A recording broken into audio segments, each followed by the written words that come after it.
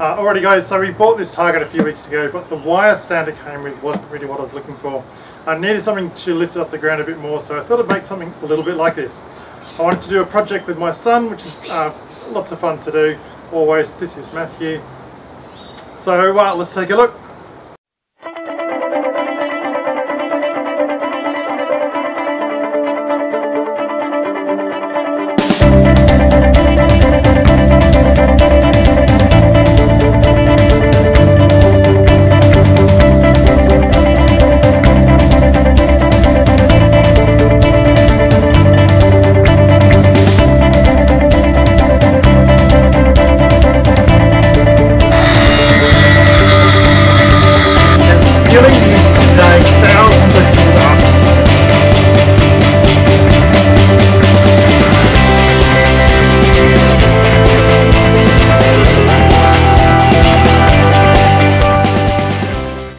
Alrighty, so the plans for the archery target.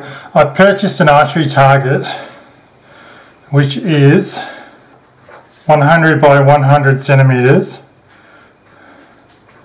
So that is the backstop for the paper targets, rightio.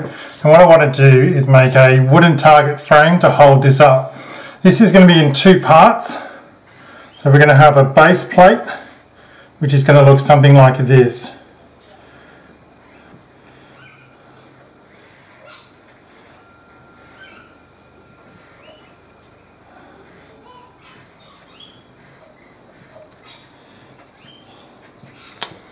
Rightio, so each of these will be 100. This will be 94. I'm using pine from my hardware store, which is 7.5 by, correction, 7 by 3.5 centimeter. I don't know what that is in inches, sorry. Rightio. Uh, so you've then got, um,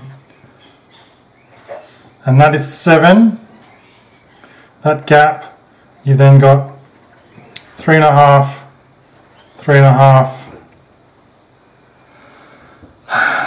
uh, and then you have the top section, which is going to look pretty much like this.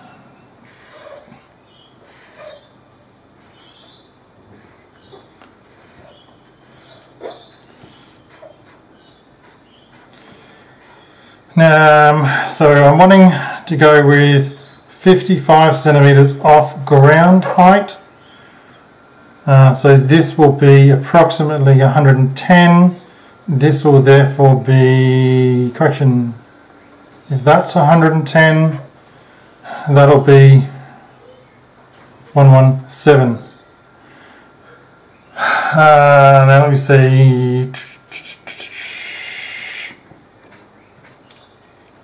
Now this isn't kind of structural per se, but what it is, uh, is simply designed to have some weight in it so that if the target gets caught by some wind, this isn't just going to fall over.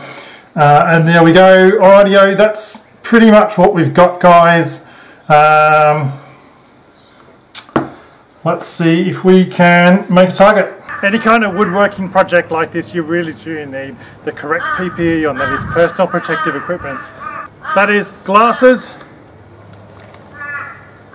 a mask,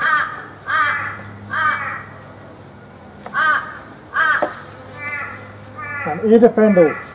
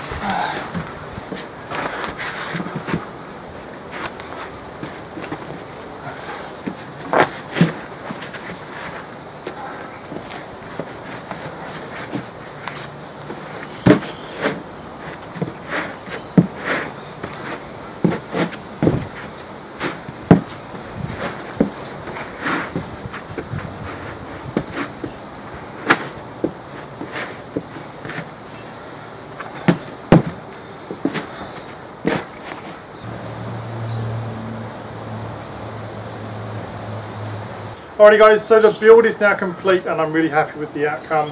Uh, this is a really good build. It's lifted it off nicely off the ground. I've got plenty of backstop for the target.